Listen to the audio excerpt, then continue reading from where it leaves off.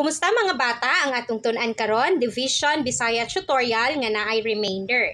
Ang niagi natong lesson kay unsaon nato pag-add, unsaon nato pag-subtract, unsaon nato pag-multiply ug unsaon nato pag-divide nga walay remainder. So karon division ta pero naa siya remainder. Nata example dire 98 divided by 5. So unsaon gani nato pag-divide? Mag-una ta sa walang bahin. Kung ang atong addition, subtraction, ug multiplication, nag-una ta sa tuong bahin or sa ones place, kung division ang atuang hisgutan, mag-una ta sa walang bahin. So, si 9 ang una natong i-divide kay 5, dili si 8.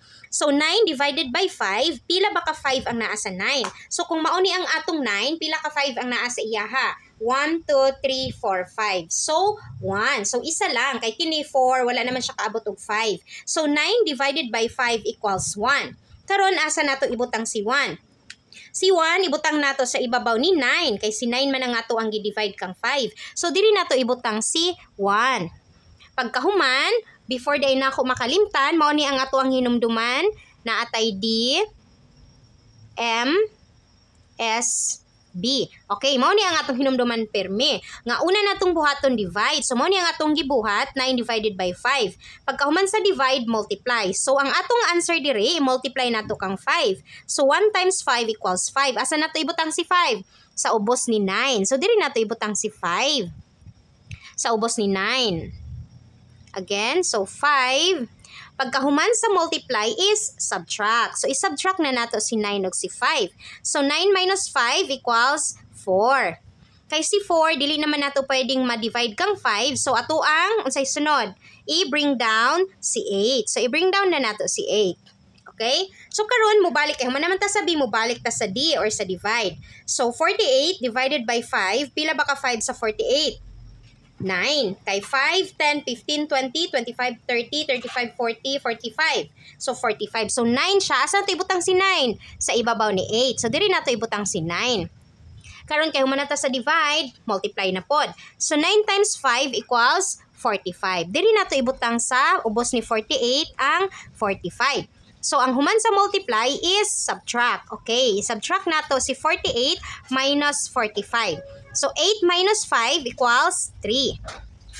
Si 3, pwede pa ba natong i-divide kang 5? Dili na. So, buot pa sabot, ang atong tubag, 98 divided by 5 equals 19, remainder 3. Mao na ni ang atong tubag. Or, kung gusto ka na ipadayon nimo siya, so pwede nimong ipadayon ni si 3. So, ang imong buhaton, ipakita lang nako kung saon nato paghimo kung imong ipadayon ang imuhang division. So, 98 divided by 5 So kung ipadayon nimo siya magdagdag ka diri magbutang ka diri decimal point pagkahuman magdagdag ka og zero. So kay nagbutang kag decimal point diri magbutang pug ka sa ibabaw og decimal point. So karon i-bring down nimo si zero mahimo na kang 30. So 30 divided by 5 equals 6. Unya 6 times 5 equals 30. Tapos i-subtract nimo. So kung gusto nimo nga ipadayon mao ni ang atong answer 19.6. Ikaduhang example na to, 355 divided by 13. So, again, maguna ta sa wala. So, 3, dili na to siya pwede i-divide kay 13, kay mas gamay si 3, dugangan na to siya isa ka number. So, mahimo siyang 35. So, 35 divided by 13. Pila ba ka 13 ang nasa 35? Duha. Kay 13 plus 13, 26. So, duha lang siya. Kay kung dugangan pa ni mo isa ka 13, mulampas na siya. So, ibutang nato ang 2 sa ibabaw ni 5 kay siya man ang last number nga ato ang gi-divide. So, diri nato ibutang si 2. Pagkahuman nato og divide, multiply. So, 2 times 3 sa isahon nato multiply. 2 times 3 equals 6. Diri nato ibutang sa ubos ni 5. And then 2 times 1 equals 2. So, 2. Human naman ta og multiply, so subtract na ta. 5 minus 6, dili pwede kay mas gamay si 5 compare kang 6. So, ang buhato ni 5, manghiram siya og 1 kang 3. So, si 5 mahimong 15. So, 15 minus 6 equals 9. O niya si 3, kay gihiraman man nato og 1, nahimo na siyang 2. So, 2 minus 2 equals 0. So, karon si 9, dili na nato pwede ma-divide kang 13. Ang atong buhaton, i-bring down nato si 5, kay B ang sunod sa S. So, i-bring down nato si 5. So, nahimo na siyang 95. So, 95 divided by 13, pila ba ka 13 ang naa sa 95? 7. So, ibutang nato si 7 sa ibabaw ni 5. Pagkahuman nato og multiply, ah, pagkahuman nato og divide, multiply. So, 7 times 3 equals 21. So si 21, i-bring down nato si 1 dire, si 2 i-carry nato sa sunod nga number ni 1. Dili na to pwede isulat tanan ng 21 dire. Ang ones place lang atong isulat si 1. Pagkahuman si 2, i-carry nato diri kang 1 kay siya ang sunod nga number ni 3. So diri nato ibutang si 2 sa ibabaw ni 1. And then 7 times 1 equals 7. Ayaw kalimti ang 2 nga gi-carry. So 7 plus 2 equals 9. So 9. Pagkahuman, i-subtract na nato. So 5 minus 1 equals 4. So si 4, dili na nato pwedeng ma-divide kay 13. So ang atong tubag sa 355 divided by 13 equals 27, remainder 4. So mao na niyang atuang tubag.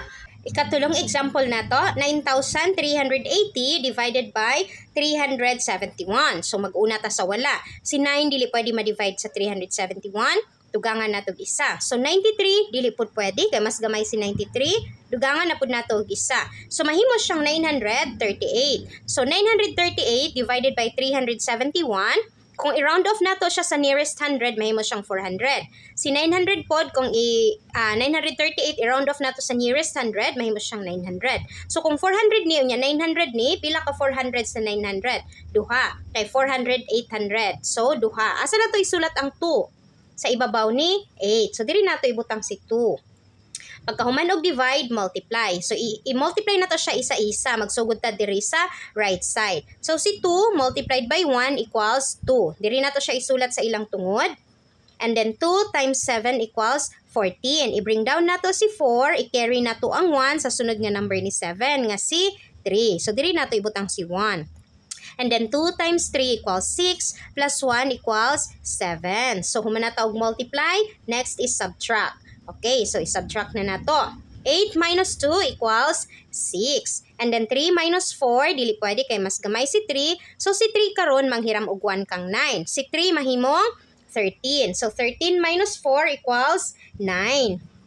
Si 9 kay gihiraman man og 1 ni 3, nahimo na siyang 8. So 8 minus 7 equals 1. So karon kay human na ta sa subtract, i-bring down na nato ang sunod nga number. Ang sunod nga number kay 0. Kay si 196 dili naman nato pwedeng ma uh, divide kang 371. So dugangan nato siya og ibaba nato si 0. So mahimo na siyang 1960. 1,960 divided by 371. So, para madali ta, i-round off again nato si 371 sa nearest 100, mahimo siyang 400. And then si 1,960, asa siya dool sa 2,000. So, i-round off nato siya sa 2,000. So, mahimo siyang 2,000 divided by 400. So, pila ba ka 400 ang nasa 2,000? So, 4, 8, 12, 16, 20. So, bot pa sa bot, 5 ka 400 ang nasa 2,000. So, ang atong tubag sa 1,960, divided by 371 equals 5. Diri na to siya ibutang sa ibabaw ni 0. So, diri si 5. Kay human naman taog divide, multiply na pod. So, 5 times 1 equals 5. And then 5 times 7 equals 35. So, i-bring down na to si 5. I-carry na to si 3 sa sunod nga number ni 7 nga si 3. So, ibutang na to si 3 diri. Human na ning atong 1. And then 5 times 3 equals 15 plus 3 equals 18. Okay. So, subtract na ta. 0 minus 5, dili pwede. So, si 0 manghiram kang 6 ug 1. Si 0 mahimo ng 10. So, 10 minus 5 equals 5. And then si 6, kay gihiraman man siya ni 0 ug 1, nahimo siyang 5. So, 5 minus 5 equals 0. And then 9 minus 8 equals 1. So, ang atong tubag sa 9,380 divided by 371 equals 25 remainder 105. So, mao na ni ang atong tubag. Or pwede pa ninyo siyang ipadayon kung gusto ninyo, magbutang lang mo dire og decimal point, magdagdag mo og 0 pareho sa atong gibuhat kanina sa atong example number 1.